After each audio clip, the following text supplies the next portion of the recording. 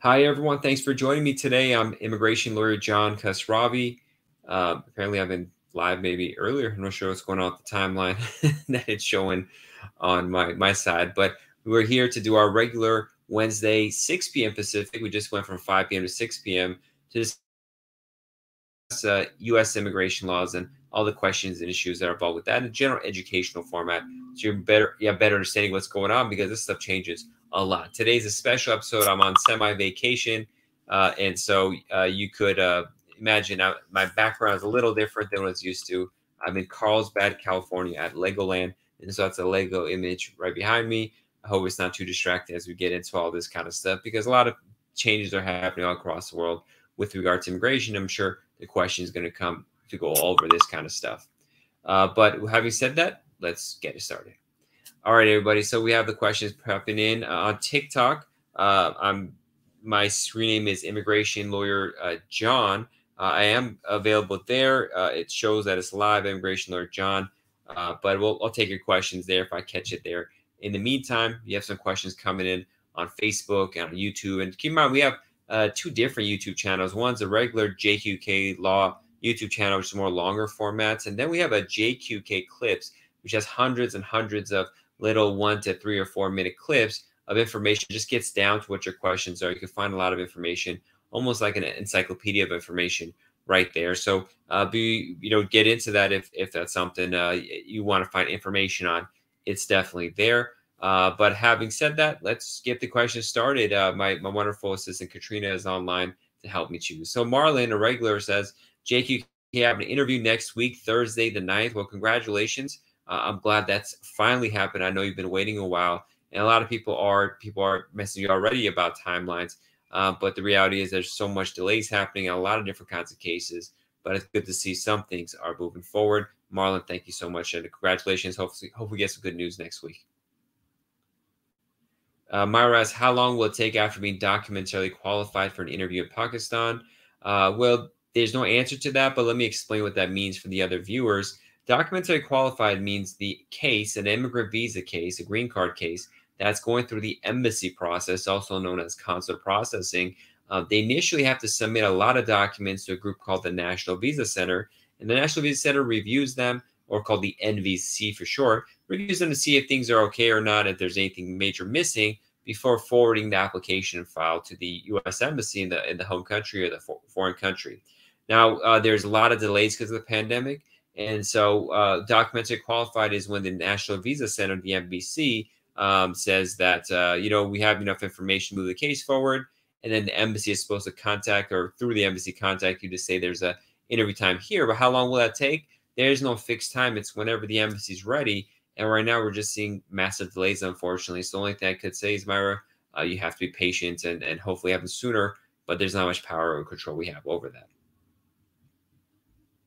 The next question is from enclosed. How long does it does uh, how long to get a response after I send a medical RFE I sent a month ago? There's no fixed time on how long it'll take. Recently, I've been getting a lot of RFEs for the medical. Uh, this is in regards to employment-based cases who filed for adjustment status, and they're getting their approvals like you know a week or two afterward. But there's no fixed time, and it really depends on uh, you know the and the uh, USCIS officer handles it and what issues are involved with your case. So I, that that's a that's as much I can say. You just have to be patient. Hopefully, it doesn't go longer. Uh, Muhammad asks, can a lawyer send a letter to my interviewing officer and ask about the interview decision? Will they respond? Well, lawyer could do it. You could do it. They can respond if they want to. It's all up to them. So you can have a lawyer do it, but it doesn't mean it's going to make any difference. So I'm going to take a quick break from answering these uh, YouTube and Facebook questions, kind of jump in. We got a couple questions on TikTok I want to get to as well. Uh, just, just Jesus says, or Jesus Lobo says, Hello, greetings from Wisconsin. My friend gave himself up to Border Patrol, applied for asylum. Uh, best of luck. Hopefully, that works out for them. Hi, Hayat, hello, sir. My husband's stuck in Afghanistan. Don't know what I need to do. You know, I don't focus on the Afghani cases in particular unless they're already here. They may need to file for, uh, you know, humanitarian parole or maybe they could go to a third country and do consular processing there. It's a, it's a long situation. Sata asks, how long does the I-824 take to be done? It depends on how long USCIS wants to take. It could take a long, long time. Uh, D pass I 45 decision pending since January 2019. So they had an adjustment of status case and it's been pending for since January 2019. I need to know more information about that case. I'm going to be able to answer that. There's a lot more details I need to know. Ahmad asks, is it okay to apply for citizenship or I should I wait of the pandemic? The pandemic has nothing to do with citizenship, so um, you should do it if it's appropriate. Uh, Celeste asks, how do we send questions? I need immigration help. Well, you just sent your question. Uh, Snack says, hi, my extension letter for green card expired, but I still not received a decision. Well, that happens. Celeste, you just got to wait or any more information about your case, but these delays kind of happen. Celeste follows up, how do I help my husband to come to U.S. after COVID got him stuck in the U.S. when he was here longer? I don't know. I have to have a private consultation to see what's happening. Going to ask two, answer two more questions on TikTok, then go back to the other social media. Alice asks, what if my status expires, but I have a pending lawsuit? That's unrelated to your immigration status. Talk with lawyer private. And Joram asks, do we need a passport number for I-130 for siblings application? Well, the form I-130 does ask for the um, the number, um, the the passport information of the beneficiary. However, it's not that important. If it's not there, it's not. They're not going to like deny the case or something like that. But thank you for your question on TikTok. We'll go back in a sec. But for now, we're going to take some more questions on YouTube, Facebook, and LinkedIn. Um, the next one is Sejal asks, "Hello, the I-485J and the and the medical RFE received. Is it a good sign for approval? I-485 was just filed out October 2020 and is and is a PD priority date is current. Um, it's good sign. I mean, you're doing what you need to do. The I-485J, the medical. Um, it, it's not about signs really. It's just you got to do what you got to do. And if there's no issues, then it's going to be approved. How long it's going to take, I don't know. But I don't really, I can't say something's a good sign or bad sign. You just got to do what you got to do. It's not something that's answerable that way. But thank you for your question. Elizabeth asks, I got a notice on my phone yesterday saying USCIS sent my card in the mail so am I saying if I will get the same social security number this the same time with the work permit, uh, send my card. So you're saying send my card. What do you mean, the green card or the EAD? I'm not sure which one you mean. Um, the Social Security Office issues a Social Security number and card. Uh, the work permit separate, so they could come at the same time coincidentally, or they'll be different. But they're two different agencies. The Social Security Office is separately sending it. They're not being consistent, and the work permit is the work permit for USCIS when USCIS notifies you, they're only going to talk about their own documents that they issue by their own agency. But thank you for your question.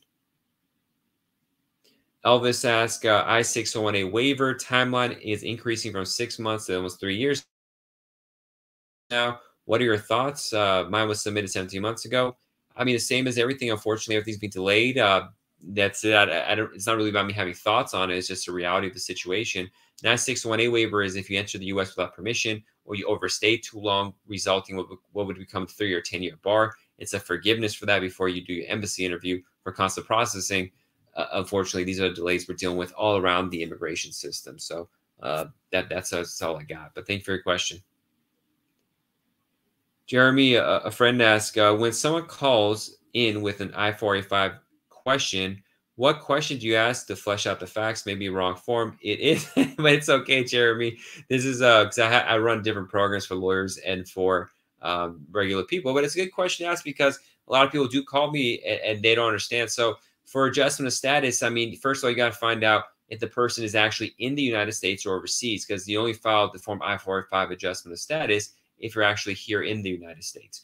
Uh, so that's the first thing. And secondly, um, you asked if they enter with permission or not, because one of the basics to adjust that is is that you have to have lawful entry admission or parole. There's some exceptions that are separate from that, but basically, you want to first find out if they've passed the first prong of the adjustment of status uh, situation, which is if they enter with admission or parole. Once that's done, the second step is to see what is the basis of the adjustment of status: the family based or employment based, diversity visa lottery, asylum. There's all these different kind of things it could be. Most of the time, it will be family based or employment based. And so then you get into questions of, you know, who's the family member uh, and if it's something they could adjust that is. So we have people, for example, who contact uh, who are brothers or like a brother of a U.S. citizen. They're here in the USA on a tourist visa and they want to file for adjustment status. Well, that's not going to be possible because the brother sister timeline takes 15 years. There's no way they could lawfully stay in the United States for 14, 15 years on a tourist visa uh, for them to be able to file for adjustment of status. So it gets kind of deeper, but the first things you want to see is if they enter lawfully, because that denotes whether they need a waiver or not, and then also get into whether they violated their status or have criminal history. So it's a three prong Okay, so or four prong maybe. Uh, did you enter lawfully? What is the basis of your adjustment of status case? Have there been criminal history? Have there been immigration violations? And will really give you the, the main ingredients you need. There's a lot more details an immigration lawyer needs, but in a phone call, you could probably get those within a minute or two if the client's efficient and, and take from there. But thank you for your question, Jeremy. Uh, Fatez asks, I filed my case and I already created an account with USCIS. So which kind of documents do they need? So that's uh, it depends on your case. It could be a million and one different documents. So it's not something I can answer here. But thank you for your question. Sedge follows up. Medical RFE submitted August 19th, but still no update online status. Status stuck on fingerprints. So unfortunately, the online system USCIS.gov has to update you on cases. Only gets updated, I would say, about 70 to maybe 75% of the time. So if they don't update, it doesn't necessarily mean they haven't received it. When you do submit something to USCIS, you should submit it uh, with tracking, so the mail gets tracked, and preferably they uh, sign the thing itself. They, they, they when they receive it, and that way uh, they could also um, you could have confirmation that they got it. So if they claim you didn't send it, that way you could have that proof. Um, so hopefully it gets updated, but that does happen. One thing I want to note separately from this, I forgot to mention at the beginning of the show that we have a free consultation giveaways, 15 minute video consultations. All you got to do is like, subscribe, and leave a comment like consultation or something like that. And my wonderful associate uh, Katrina uh, will will name a person to me separately, and I'll announce who the winner is. Usually we do three of them um, every 10 minutes or about the 10 minute mark. And I just remembered about that. So Katrina, if anyone does mark it, let me know, and we'll set up the free video consultation on TikTok. Um, I'll take some TikTok questions so we catch up a little bit. Um, a Jesus blog asks, how long for people applying for asylum to be set free? There's no timeline on that. Uh, Yatin asks, what is the processing time for an I-130 spouse? It varies. If you're a U.S. citizen filing for a spouse, usually eight or 10 months. If you're a green card holder filing for a spouse I-130, it could take, you know, three months to two years. Uh, Horam says, thank you. You're welcome. Yatin submitted January 2020. Still no answer. You probably are an LPR. That's probably why. Oh, says, what I meant was, can I stay in the United States until a lawsuit is settled? The lawsuit is completely, if you have a lawsuit, it's completely separate from immigration status. You need to request special requests from the immigration department, USCIS, to be able to stay. So the lawsuit's not directly related. Uh, Tharik asked, the NVC asked me to submit a document again. How much time is it going to take to review? That depends on the person reviewing it. Mufasa asks, hello, sir, I'm, Californ- I'm, I'm Californian. Uh, I applied for N-400 10 months ago and haven't received my interview. Yeah, you got to be patient. It's not an irregular timeline. Uh, Alice Alison says, "Hi, what can I do if my I-130 is still not approved, by the priority is current? I don't know. It depends on your case. You may follow adjustment status, but I have to see your case. Uh, user 808, affirmative asylum pending. Can you use advanced parole for travel abroad? Is it safe or not? It's up to you if you want to take that risk. I don't know anything about your case to say if something's safe or not, so you should schedule a consultation with the attorney private. Thark says, NVC asked me, already answered that. Um, Thark says, okay, keep asking the same question over again, over again. Okay, so we're at Yatin 1001 says uh, they are an LPR, and that's the situation. LPR, these kind of cases take a while. Um, so unfortunately, um, you're gonna have to be patient, and hopefully get the I-130 approved soon. So let's go back to our questions on uh, the on the regular format. So Raul asks, I have applied for a green card and work permit on the same time but due to low income, I 487, I'm not sure I 487, I need a co sponsor, I 64, you mean. Um, I need a co sponsor. My question is, my work permit will it come or will it be on hold until I find a co sponsor? Probably it'll be on hold until a co sponsor is found. Um, that's what usually happens, but not 100%. So they do whatever they want, you know. All right, next question came from TikTok and as well in and is detained, applied for asylum what is the estimate of time to be set free? There is no estimate of time to be set free. It depends on the case and how they feel about it and a lot of different factors. They should probably hire an attorney to help them from the next steps, but there's no timeline that stuff necessarily. Uh, Mustafa asked, oh, answer this question. Yeah, 10 months ago, U- U.S. citizenship cases are getting faster in California, but it could easily take a, over a year. Elizabeth asks, good evening you get your work permit and social security number at the same time? Not necessarily. Uh, because you know the different agencies handle these things differently, so it's gonna be different. So I mean, let's talk about that. When historically, I mean, the last couple years, they changed the work permit form, I-765, so that you could also request your social security number when you're applying in the United States to get it. Uh, and what would happen before pandemic was that once the work permit is approved, you get the work permit, the EAD, along with advanced parole if you submitted for that in the mail. And pretty much at the same time, the Social Security office would send you a Social Security number and a card, and you get it. The pandemic hit, a huge delays happened, particularly for the Social Security office, so that's getting delayed. But just recently, about a month ago, USCIS updated Form I-485, the adjustment of status application. So if you are applying for a, a green card uh, and are using Form I-485, you want to request a Social Security card from there or, or number if you a card number if you don't have it on the Form I-485. But how long it takes really depends on your local Social Security office. Some of them closed down pretty heavily because of the pandemic and are much slower uh, to respond to anything, like here in Southern California. And others have been faster and more responsive. What I've seen in Florida, for example, it has directly to do with the pandemic and be able to staff the organization.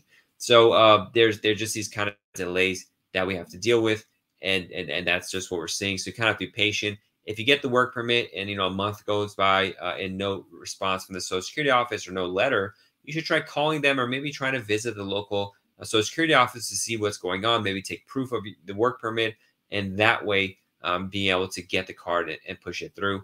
But it's just there are a lot of different agencies at play here working together, so it makes it really difficult.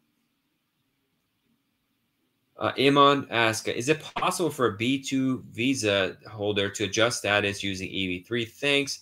It may be possible if the case is current, but there's issues with immigrant intent if it looks like you came with a tourist visa to apply.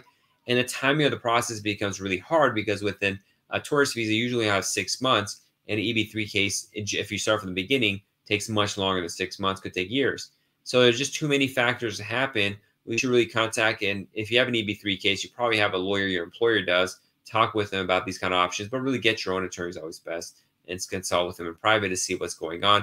You don't want to enter with a tourist visa with the intent to adjust status.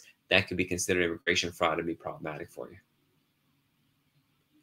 Imad ask a regular. Uh, I want to take this opportunity and thank you for the great videos and answer. Imad, thank you so much. That was so kind of you. I think you left a very nice review as well. God bless you. I appreciate the kind words. Thiago asks, how about the documentary qualified cases? Is there any way to find out where the case is on the backlog and how many cases embassy is actually processing? Not really. Uh, they're not that transparent to be able to give us that kind of information uh, at the embassy system. So all you can do is really wait. You could try filing a lawsuit potentially. Um, that that option works well many times. Uh, Congress, some congressional help, all this kind of stuff. Request expedites if it's urgent enough. Um, but for most people, there's nothing you can do other than just sit and wait. If you have the money, maybe file a lawsuit. Talk to an attorney about that. Alopa asks, what is the new rule for family petition interview for LPR? My wife is waiting for interviews a long time. There's not necessarily any new rule. Um, just gotta wait. I mean, I'm not, I'm not, sure what you mean by new rule. I know I'm not sure what you've heard.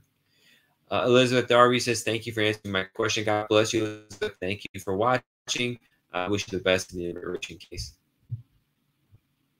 Alessandro asked, I filed my I-130 for my wife, and they told me between two to seven months under permanent residence. They, we thought it was going to go faster, but no. I mean, I've seen I-130s uh, petitions from based on LPRs go three months, six months, nine months, but I've easily seen them go 18 months, 20 months as well. Um, I'm not surprised if it's that long. Unfortunately, there's just huge delays happening with all this kind of stuff. I do want to mention uh, the winner of our raffle for our free consultation uh, for the live viewers. It's Alasan who just asked the question as well. Alasan, take a screenshot of where you're watching this so I can see your username being logged in so I know it's you. And email me at info at jqklaw.com. And I'll reply with some uh, with a response uh, of how to schedule a consultation. For those just tuning in, if you're watching uh, on any of the social media channels, we're giving out free video consultations. We probably got one or two more. What you got to do is like, subscribe, and leave a comment, like say consultation and my assistant uh, Katrina will, uh, you know, name a person about you know five or seven minutes from now, and we'll have a free video consultation. We'll set it up so we can talk about it. We have a lot of people who tune in uh, who have marriage, green card cases, fiance cases. They either either have or they're thinking about doing. So I want to let you know I have the Ultimate Marriage Green Card Guide. It's the best place you could go to find information, uh, the basics about the marriage green card process. Just go to marriageimmigrationlaw.com that's marriageimmigrationlaw.com and download the Ultimate Marriage Green Card uh, ebook and guide. I think you'll be blown away of how much information is there. If you already started your case, you'll learn from stuff from there it's going to be a big help. And I wanted to be out there to the public so they can take advantage of it. Uh, we have another question uh, from Saad. Saad asks, Sir, do you know how I can expedite my I 130 petition? Can I bring my spouse to the US with an emergency visa by showing a doctor's note and my father's death certificate? You can always try to expedite things for humanitarian reasons. Uh, I had one case recently where the, the petitioner, US petitioner, was diagnosed with cancer. We had to fight USCIS back and forth for probably um, like two months, but they expedited the I 130. We got the I 130 completed in three months. Now we're doing consular processing to bring that spouse to the United States. And we're again requesting expedites there. Um, but uh, there's different routes to do this. They get a, a different emergency reasons to come. Um, they're very difficult to get. There's a lot of uh, back and forth with USCIS. Most of them will get denied right now. Uh, but um, you could always give it a shot. Uh, you know, your father's death certificate, I'm not sure that directly shows an expedite need unless you have and what the, the doctor's note says. It depends on what the facts are and which officer's reviewing it, if they're open to it or not. So there's a lot of different factors that go into play here. But uh, you know, try. I mean, at the end of the day, if you want your spouse to be here, you always got to give it a shot. You just got to be careful what you're saying in those letters because anything you tell the government goes on the official record. So you don't want to say something that you know is going to hurt you later. And that's where having a lawyer comes in pretty handy to kind of spot stuff if possible, uh, to be consistent in what you're saying. So it doesn't sound like you can be inconsistent, which be looked to as you know you're trying to fabricate something or be disingenuous with the immigration department. But thank you for your Sada. I wish you the best. I'm sorry uh, about your father's passing. Uh, Yetin asks, uh, they changed my service center. Is that a good thing or no? I get this question every day. Uh, it's not something for you to think about, good or no. Uh, the idea is that USCI sometimes sees that one service center, they have multiple service centers that process cases behind the scenes. And if one is too busy, they try to send it to another location so they can kind of get help or have less busy people doing more work. That's the idea is to make it go faster. Does it actually go faster? No, not necessarily. Does the service center your case get transferred to make a difference in reality? No. It always depends on the individual how they get your case and is working on it and the facts of your case. So there's two different factors there. And so you could have I have people contact me all day right now saying, "Oh, my case at Texas Service Center. I'm so worried. How do I move it?" Well, you have no power to move it. It's up to them. But just because it's at the Texas Service Center doesn't mean it's going to go faster or slower. It's just something that happens. So what you got to do is just be patient and uh, just hopefully it goes well and be prepared for the next step. So you jump on that, whatever that is. Oh, thank you for your question. Saad follows up. Thank you for answering your questions. You're welcome. I wish you uh, the best and God bless you, Saad. I appreciate it. Kiara Terra can, I think that's what it says. Can I do volunteer work while waiting for my work authorization to come through? This is a question I get asked a lot because the definition of what employment is and what unauthorized employment is has been very vague and is interpreted and adjudicated differently depending on which agency you're dealing with and depending on which officer you're dealing with. So what work for immigration purposes in the United States so that you won't fall foul of what is unlawful work. I take the most conservative view is that if you're doing something, an activity that an American could do while in the US, then that's work and that's a violation. You may be doing volunteer work, like for example, I go volunteer at a restaurant or something like that, but that restaurant could have hired an American to do that job. So you technically are working. Um, you're just not directly being paid at that time. Maybe there's a scheme that says later on when you get a work permit, we'll pay you double to make up for the volunteer work again. This kind of stuff happens. So I, I don't recommend people work with authorization and even do volunteer work. Um, now, for sure, will that be a problem? I can't say that, but it's going to depend on the officer that you're dealing with. And the last thing you want to do while you're already waiting for work authorization, you know, you know it's coming, is to do a violation that can mess everything up. So I recommend people don't do anything that can be construed as work if they don't have a work visa or work status or work permit, whatever it is, when they're in the United States to avoid that trouble. Some lawyers could be less lenient. That's just my interpretation and my conservativeness to protect my clients. Um, but different people do it differently. Um, you want to take on what the exact details of that work are. Just by saying volunteer work doesn't give me enough information. For example, if you go and do volunteer work at a soup kitchen to help the homeless on Thanksgiving, I wouldn't be too worried about that. But if you're to do volunteer work for Google um, and or just some computer company or something, you know, I, I would have doubts. So um, it just depends on a lot of factors. You should really consult an immigration attorney if you want to have a more more specific consultation uh, and information. Now, I do want to announce the winner of our second uh, pre-consultation raffle, Saad Hashmi, who had asked about the expedites. just said, take a screenshot of where you're watching this, email to me so I know that it's you, and we'll set up a quick 15 minute consultation to talk about what happened with your case to see if anything's possible. But thank you for watching. And for those watching the live show, just uh, and they're just tuning in, like, subscribe, and leave a comment saying consultation. And my office gives out free video consultations during our live show. We have one more opening left. We're, to announce that in like five or six minutes from now. Um, just say like, subscribe, and say consultation. And my lovely assistant Katrina will name someone in about five or seven minutes, and we'll talk about there. And also, if you're interested in information about a fiance visa, marriage green card, I've already even started the process. The best place to go to get the initial strategy and understanding what's going on is downloading the Ultimate Marriage Green Card ebook or guide at marriageimmigrationlaw.com. That's marriageimmigrationlaw.com. We'll take the next question.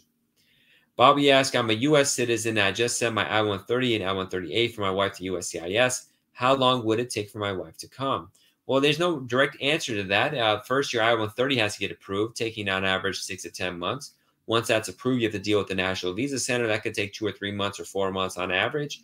But then the next question is, when will the embassy schedule interview time? Some embassies will be fast, some embassies won't be.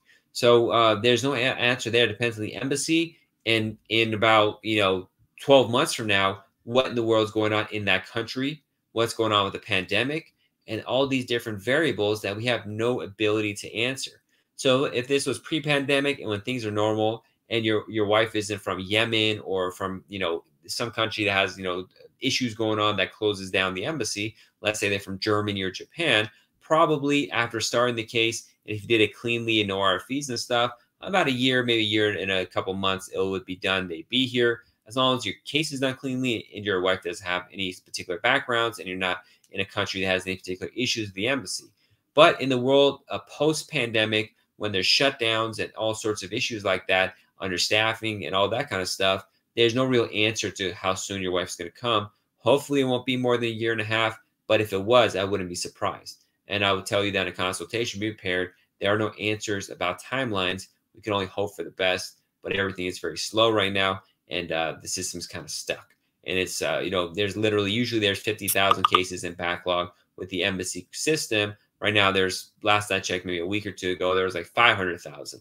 So there's 10 times as many cases in backlog right now. And so you know you got to keep that in mind. How are we going to answer something uh, a year in the future now when it went from 50,000 to 500,000 uh, and it's not really getting better.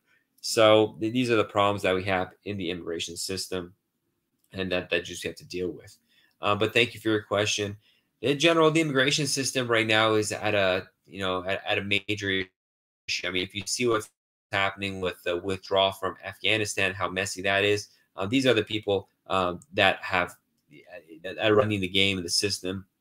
There's so many people in Afghanistan who have been waiting for the embassy visa interview for over a year, and all of a sudden they're stuck and uh, going undergoing you know horrible humanitarian situation when they could have had their visas issued um, or potentially gotten some sort of humanitarian parole automatically to be able to come to the United States, but they didn't. So seeing how bad the poor Af- Afghanistani people, um, they say don't say Afghani, it's, it's Afghan.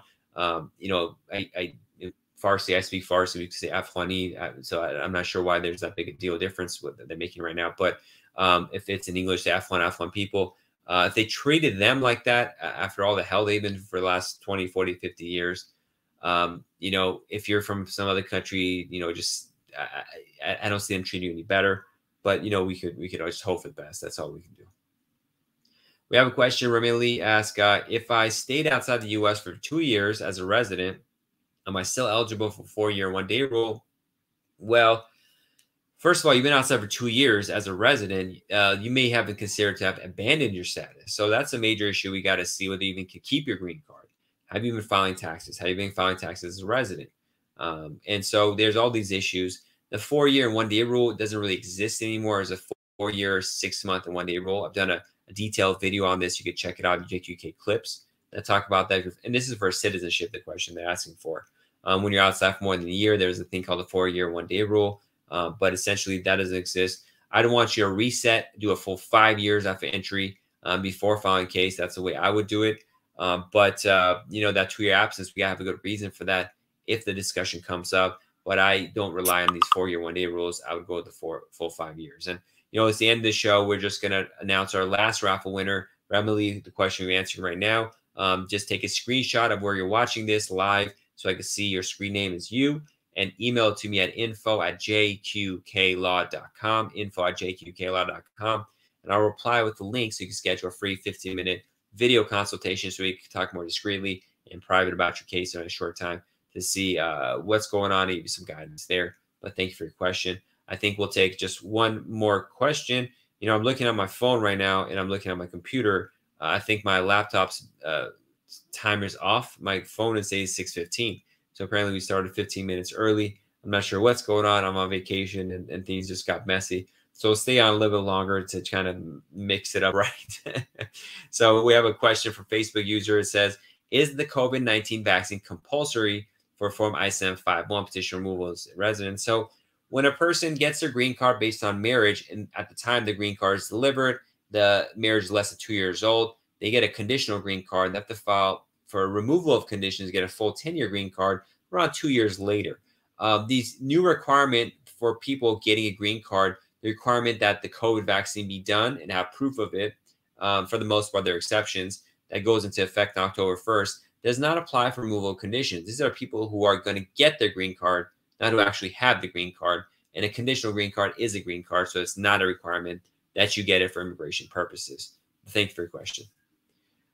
Next question is from Mike. Mike asks, uh, "Did I did I did file I-601A? Can I file I-601 before going to consular interview? I do not want to be stuck abroad." So no, if you file the 601A waiver, um, you file that before you leave, and then you leave for interview. Um, that's it, because you can only file the 601 if doing consular processing after you get denied at the interview. So if you go do the I-601A, it's approved, you go to interview, and for some reason they deny you and they don't accept the I-601A waiver, that is a time then you have permission to file a 601 and you're stuck outside for over a year, two years probably. It's a horrible disaster. That's why I got to try to find the best way, any alternatives to not leave. Maybe you have, you know, DACA and you request advanced parole. Uh, maybe you, you're subject to a thing called 245I, which is an exception. Maybe this, maybe that. It's good to talk with an immigration attorney private to see if any of these exceptions exist to prevent you from having to leave and go outside the United States um, because uh, leaving is a major disaster. All right, I think we'll take one more question. Sorry, my times got mixed up because my laptop's giving me a wrong time. I'm not sure how that happened. Um, but we'll take one last question if there are any. If not, I also want to thank everybody who joined in. Um, y'all were really kind and good questions. We have three free consultations coming for Saad, Remily, and for uh, Alasan. Uh, appreciate your questions. I'm immigration lawyer John Khosravi. I'll be back again in the office next Wednesday, 6 p.m. Pacific. I'll start at the right time and take your general educational based immigration questions there. Uh, if you are interested in doing a fiance or marriage green card case, just download the Ultimate Marriage Green Card Guide at marriageimmigrationlaw.com. And so you could really get to know uh, what's going on with the immigration system. We got some kind words. Marcel says hello. Jordan says love you. Remley says thank you. God bless you all. Wish you all the best. And hopefully the immigration system won't treat you too bad and you'll get done with it as soon as possible. I know it's a stressful process, and I just see as my goal to try to alleviate somewhat the stress and pain of people going through it. God bless everyone. Be safe. Have a good one. Bye bye.